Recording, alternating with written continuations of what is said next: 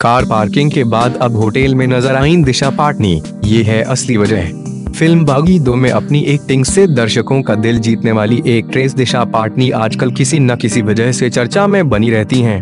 तथा कथित रूप से एक निर्माता के साथ कार पार्किंग में अपनी अपकमिंग फ़िल्म के बारे में बात करने के बाद अब उन्हें एक होटल में देखा गया है। होटल में दिशा एकदम अलग अंदाज में नज़र आई है। दिशा पाटनी को मुंबई के वेस्टिन होटल एंड रिसोर्ट्स में देखा गया है।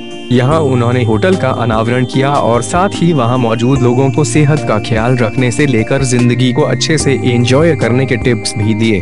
दरअसल Westin hotel and resorts की ओर से अनावरण के खास मौके पर सेहत का ख्याल रखने से जुड़े एक इवेंट का भी आयोजन किया गया था।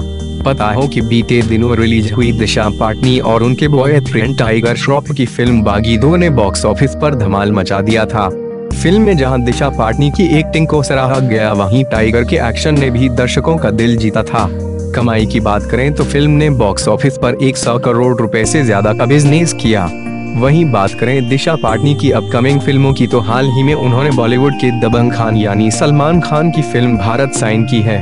इसके अलावा दिशा ने फ़िल्म प्रोड्यूसर साजिद नाडियाडवाला से एक सीक्रेट मीटिंग भी की है। तब से यह कयास लगाए जा रहे हैं कि दिशा जल्द ही साजिद नाडियाडवाला की फ़िल्म में भी नज़र आ सकती हैं। गौरतलब है कि साजिद नाडियाडवाला ऋतिक रोशन को लेकर फ़िल्म बनाने वाले हैं, जिसके लिए उन्हें नई हीरोइन की तलाश है